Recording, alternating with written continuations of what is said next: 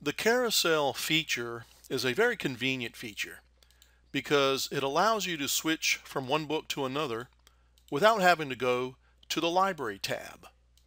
You've been looking at it in action for the past 15 seconds. As you can see, it has been swapping out my Bible with another Bible. And all I have been doing is just clicking on an icon. Now, let me show you how it works. To start off with, in the bottom left corner of the book window are the carousel icons. These icons will help you manage, operate, and configure the carousel feature.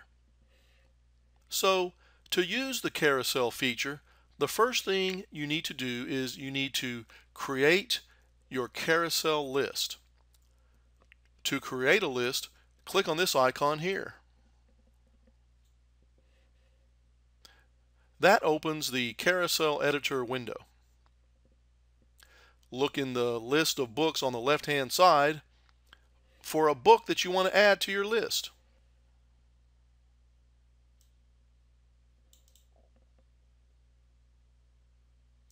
Click on it.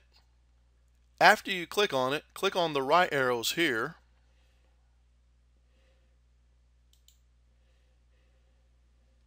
and that adds the book to the carousel list.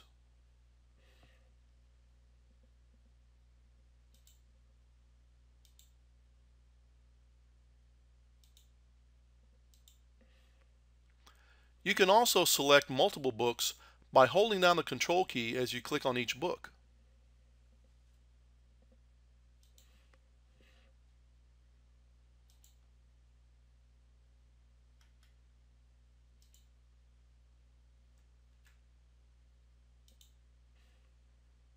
When you have finished making your list, click on the OK button. Now you can rotate through your list by clicking on these arrow icons. To go forward in the list, click here. To go backwards in the list, click here. I'm obliged to point out that not all of our books have this carousel feature. And not all of our books can be added to a carousel list. Books that support the carousel feature include the following Bibles, some commentaries and outlines, some study notes and some study Bibles, some sermon help books, some handbooks, some illustrations, some topical books, and some dictionaries and encyclopedias. And if you are a user that creates multiple desktops, you will be glad to know that the carousel lists you make in one desktop are still available in all your other desktops. So, if I switch over from my youth ministry desktop to my Sunday sermon desktop,